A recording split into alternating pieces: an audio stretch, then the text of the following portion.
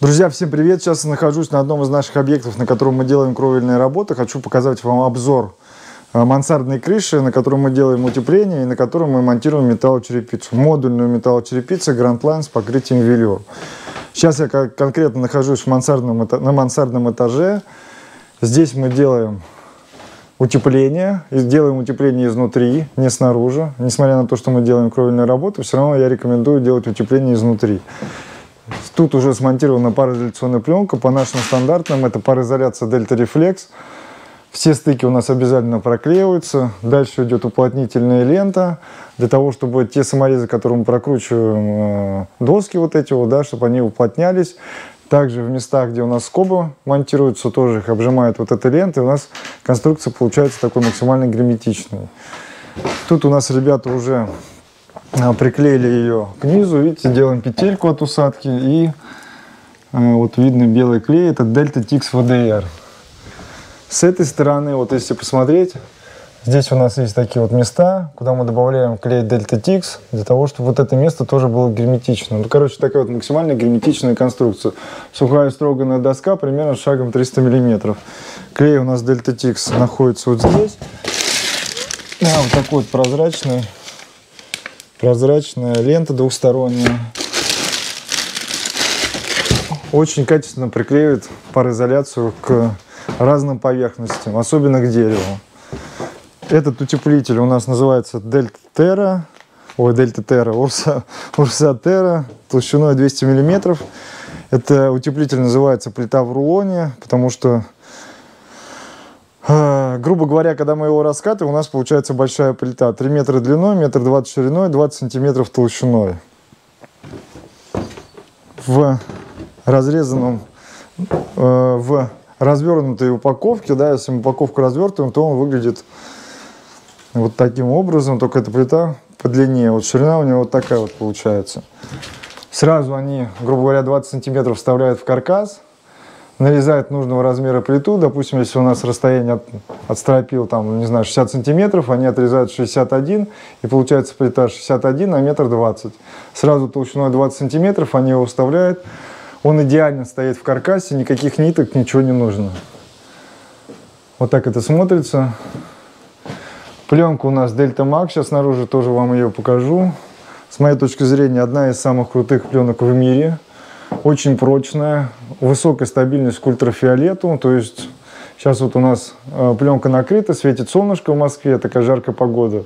И мы точно не, ну, не можем переживать по поводу того, что если она там неделю, допустим, даже стоит под солнцем, что она будет разрушаться. То есть пленка очень идеальная для этих задач. Если посмотреть вот изнутри, у нас уже металлотерепица там закрыта, уже снаружи я вам не смогу показать. Но вот если изнутри смотреть, да, то видно вот такие вот бруски, направляющие для того, чтобы правильно формировать индову с точки зрения гидроизоляции. Вот изнутри это можно проконтролировать вот таким вот образом. Дальше здесь еще будет перехлест, потом брусок 50 на 50 нашиваться, еще дополнительно 5 сантиметров. Здесь вот у нас рулоны остались, и еще должна быть... А, вот еще есть упаковки. Это уже Урсатера просто. Вот так вот она выглядит в развернутом состоянии. И, соответственно, потом она пойдет поперек. В этой комнате тоже уже все сделано. Видно, что там тут вот идет белый клей. Вот его видно. То есть это место тоже уже сделано герметично. Пар в конструкцию кровли уже попадать практически не будет. Вот так пленка, вот эта Delta Max, про которую я рассказывал, выглядит со стороны улицы. Тут у нас стружки от досок идут, но ребята их будут сдувать специальным пылесосом чтобы пленка была точно вся как бы очищена от мусора, от такого. В качестве обрешетки мы используем обычную, э, обычную доску шириной 150 миллиметров. Вот у нас прибиваем ее на гвозди пневмопистолетом. Гидроизоляционная пленка поднимается сверху, то есть правильно все сделано. Здесь у нас под контррейкой, если посмотреть, вот видно сильная синяя, синяя уплотнительная лента. Вот, она нужна для того, чтобы создать вот это место герметичным.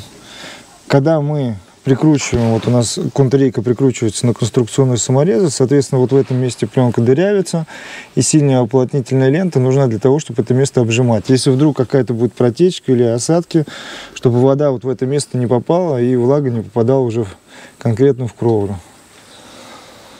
Металлочерепица у нас модульная, Grand Line с покрытием велюр. Очень прикольная металлочерепица.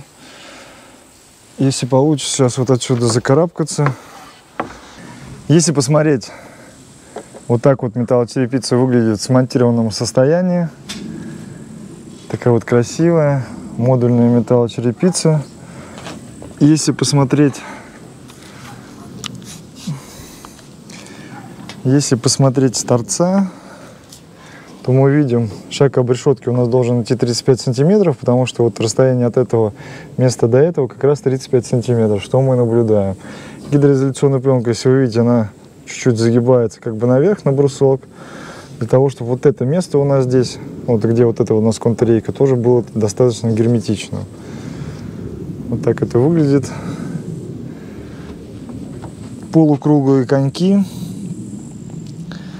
у нас идут здесь красивые, с такими ребрами, жесткостями. Вот, а это ветровая планка, которая пойдет вот как раз для того, чтобы закрыть потом вот это вот место с торцевой части. На первом этаже у нас лежат вентиляционные трубы Вилпы. Все трубы у нас изолированные. Гофра идет на канализационную трубу. Вот если посмотреть на эту трубу, то она у нас идет с проводом. Вот такой вот провод у нас. Она у нас с моторчиком. Вот эта труба для того, чтобы у нас вентиляция была не естественная, а принудительная. Регулироваться она будет мощность моторчика вот таким вот диммером. Вот. Он крутится влево-вправо. Теперь у, на этом доме будет правильная вентиляция, то есть человек сможет ее контролировать. Это у нас вентиляционная труба кухонной вытяжки. Вот, все вот, если посмотрите на Уилпы, всегда устанавливают сверху такие вот уровни, для того, чтобы на крыше монтажник мог спокойно посмотреть, как она правильно стоит или нет. Это канализационная труба, тоже утепленная. Трубы у нас канализационные, идут 110 -е. А это 160 труба, она пойдет на Э, котельную. Вот, там обычно сечение говорят 160, но тут будет газгольда, тут особо газовщики свои права качать не будут, поэтому человек сам захотел сделать по-нормальному, вот будет ставить 160 трубу. Здесь у нас проходные элементы. Вот такие вот с гидрозатвором К2.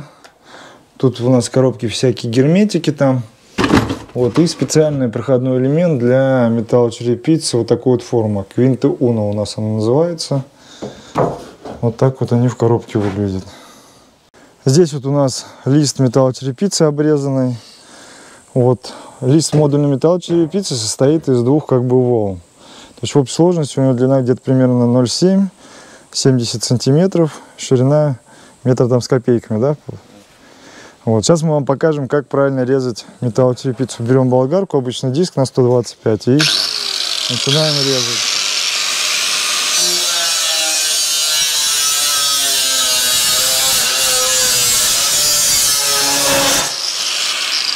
Вот так вот мы режем металлочерепицу. Вот так вот она выглядит. Но на самом деле это была шутка. Не думайте, что мы такие раздолбаи. На самом деле правильно резать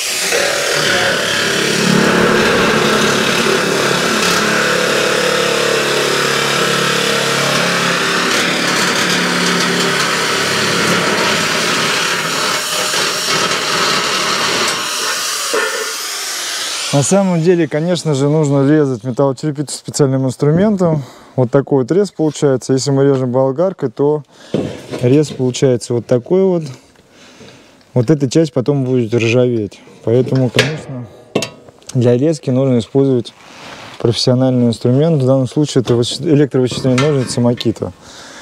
Значит, как я уже говорил, лист у нас модульный металлочерепица состоит из двух волн. Закарабкался на другой участок. Здесь у нас тоже, видите, шаговая обрешетка, 150 доска, Дельта Макс пленка, все проклеивается, устанавливается синий уплотнитель, пленка заводится на стену, проклеивается клеем. Здесь, здесь вот по периметру, для того, чтобы создать дополнительную гидроизоляцию. Как я вам уже говорил, Дельта Макс очень качественная пленка, мы можем оставлять его под солнышком. С этой пленкой точно не пройдет никаких косяков, то есть ультрафиолет ее не разрушит. Эту пленку можно оставлять как временную кровлю в течение трех месяцев. Вот что у нас проклеивается. Пленка здесь вот с торца заводится. Контррейка, брусок 50 на 50. Если посмотреть с этой части, у нас идет алюминиевая вентиляционная сетка. Есть капельник конденсата. Водосточную систему Дёки Люкс, которая крепится на таком двойном кронштейне. Первая часть заводится на кровлю, на обрешетку и к ней уже прикручиваются на короткие крюки, так, чтобы мы могли потом эту высоту регулировать, как нам, как нам удобно. Смонтирована металлочерепица. Вот у нас идет лист, две волны. Вот так вот это смотрится. Тут снегодержатели. И вот так вот у нас смотрится кровля в смонтированном состоянии. Там вот, правда, еще конек они, ребята, чуть-чуть не доделали. Вот видно там наверху аэроэлемент конька. Вот так вот у нас, короче, смотрится смонтированная металлочерепица. Здесь вот ветровые планки. Вот. Тут еще надо будет кое-какие работы доделать, а так, в принципе, вот так вот это смотрится. Вот такой вот небольшой обзор у нас получился. Если есть какие-то вопросы, пишите. А так, всем здоровья, всем удачи. Пока.